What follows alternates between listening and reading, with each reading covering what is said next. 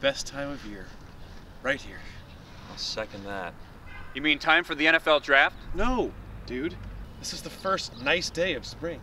Girls have been cooped up all winter, and now that the warm weather's officially here, they are just dying to take their clothes off. This is where the real scouting happens. Right there. Right of the tree. What do you think? Alex? Mm-hmm. The things I would do. Tim? No, I definitely hit it. Mel? Crypto Alexander at a USC, 5'2", 110. Got a terrific body on this one, great length, got the kind of calves teams look for at the next level. We can tell from her time in college she's got a great motor, comes from a good family, mom's a good cook, not a ton of mileage on her because she's new at the position.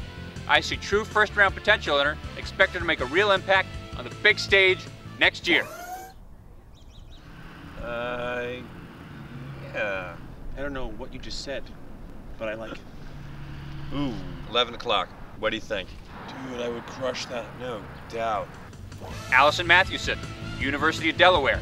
Had a very productive college career, but did come down a little bit as a senior. Has a great head on her shoulders and knows how to play the game. Terrific elevation. This is a value pick. Might not be the kind of thing to carry your franchise. What you see is what you get. But if you want solid production for the next four years, Mathewson is the pick to make.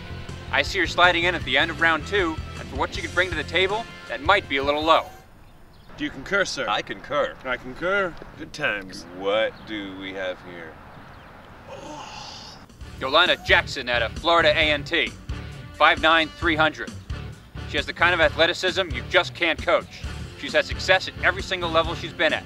She can play inside, she can play outside, and she offers the kind of versatility of someone not usually seen with her measurables.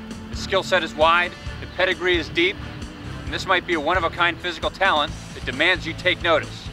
Because of what she brings to the table in terms of physicality and track record, Yolanda Jackson is my number one overall pick coming out this year. Coming out of what? The ocean? yeah, what are you, blind? The chick's a moose. Come on, Mel. What is it with you and these overweight, out of shape receivers? Does Mike Williams ring a bell? I'll see you at our Hall of Fame induction. yeah. Oh, come on. Mel, Mel, we were just kidding. He'll come back. He always comes back.